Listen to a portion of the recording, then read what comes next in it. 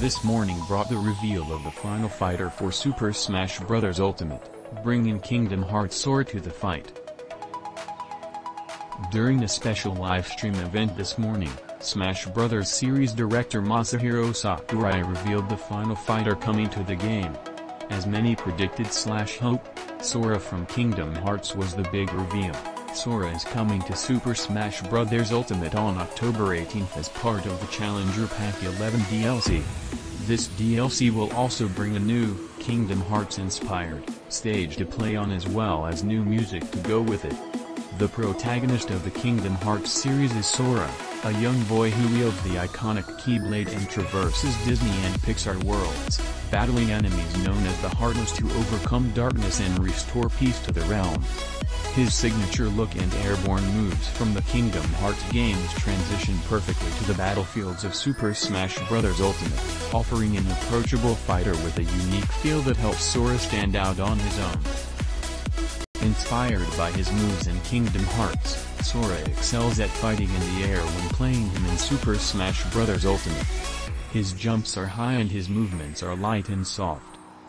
While he is easily launched by opponents, Sora is powerful, combo-based attacks using his mighty Keyblade make him a formidable challenger. Using a series of intuitive button presses, Sora can perform all types of different combos with his Keyblade, be it straight-on attacks, aerial moves or side smashes. He can also use magic, just like in Kingdom Hearts. Fans will recognize the Firaga, Thundaga and Blizzaga spells, which can be unleashed in various ways to cover the battlefield with a volley of impressive hits. Sora can also activate his final smash, called Sealing the Keyhole, to send his worthy opponents flying.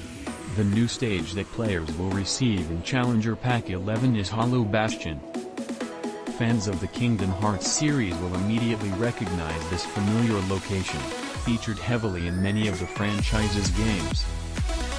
The dynamic stage contains one platform in its center, and, as the battle nears its close, players will travel to a special area inspired by Dive to the Heart with visuals featuring some familiar faces from the Kingdom Hearts series. After downloading Challenger Pack 11, players will also receive 9 music tracks from the Kingdom Hearts series. An additional music track, Dearly Beloved Swing version, will be added to this game for those who have played Kingdom Hearts Melody of Memory. A new spirit board starring characters from Kingdom Hearts like Riku, Kairi and Roxas will also be added.